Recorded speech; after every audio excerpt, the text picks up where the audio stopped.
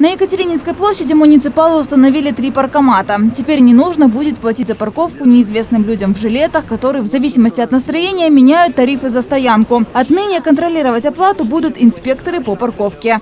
Они будут периодически заходить на эту платную парковку, проходить э, вдоль машин, проверять наличие квитанции, которая должна находиться на торпеде под лобовым стеклом, с такой возможностью, чтобы инспектор мог прочитать э, номер машины, время оплаты, э, марку машины. Стоимость парковки 5 гривен. Первые 10 минут бесплатно. Оплатить стоянку можно любым удобным способом. Наличкой, банковской картой, с помощью мобильного приложения или QR-кода. Если у водителя не будет квитанции или оплаченное время будет просрочено, владельцу авто выпишут штраф. Вот наглядный пример. Вот автомобиль неоплаченная парковка. Я проверил, оплаты нет. Я делаю две фотографии.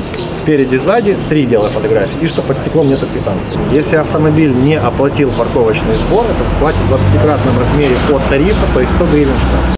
Инспекторы начнут штрафовать водителей с 1 июля. Несмотря на это, туристы уже охотно платят за парковку. Очень удобно. Хотели бы такой у нас в Черновцах. Пришел, оплатил, ушел, никого не нужно ждать, там нету сдачи и так дальше. Все деньги с этой парковки пойдут в городской бюджет на развитие дорожно-парковочной сферы, заверяют чиновники. И ни копейки в карман. Такие средства нужны, потому что в любом случае предприятию нужно будет приобретать и парковочные аппараты, ну и вести свою хозяйственную деятельность.